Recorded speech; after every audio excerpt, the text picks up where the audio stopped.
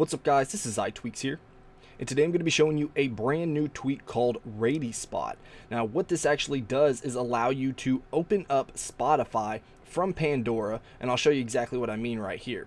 So depending on what song you're playing right here, it doesn't really matter. What you want to do is once it's playing and you want to search for that in Spotify for whatever reason, let's go ahead and turn this down.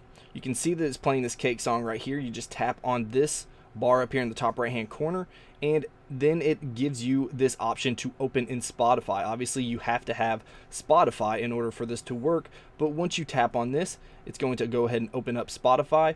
Search for that song and artist and then you can tap on it right here. And then you can either add this to the playlist you can star it add to queue share it or go to album go to artist or start the radio so a pretty simple and easy to use tweak that allows you to search for artists and songs from Pandora that's currently playing in Spotify. So let me know what you guys think about this tweak in the comments below. And if you enjoyed this video, please hit that like button. If you want to see more of my videos, then go ahead and subscribe. Also, don't forget to like my Facebook page and follow me on Twitter for updates. And if you haven't checked out my gaming channel, go over there and stop by and say hey. Alright guys, until next time. Peace.